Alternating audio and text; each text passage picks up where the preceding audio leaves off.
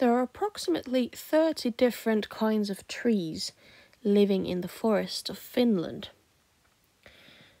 These trees can be divided into two groups. They are conifers and deciduous trees. Deciduous trees have leaves, just normal leaves. And these can be used to identify which type of tree is in question. Whenever you see a tree, you can look at its leaves and say, oh, I know what kind of tree this is. Um, the leaves of a deciduous tree fall during autumn time and they turn yellow. And that's because there is chlorophyll in the leaves um, that the tree uses to make food for itself, and it um, goes into hiding during the winter time.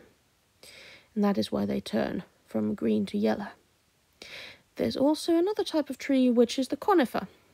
Conifers have slightly different types of leaves.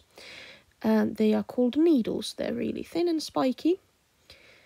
You might have seen some, perhaps, on a Christmas tree. Um, conifers do not drop their leaves and they always remain green.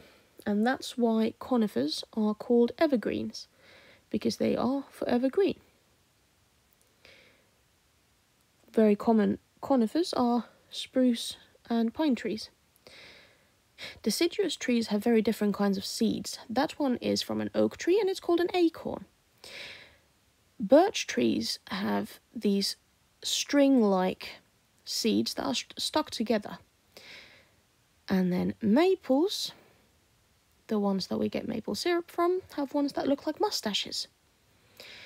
You might be quite familiar with the seed of a conifer because conifers have cones. So a pine cone is a seed of a pine tree.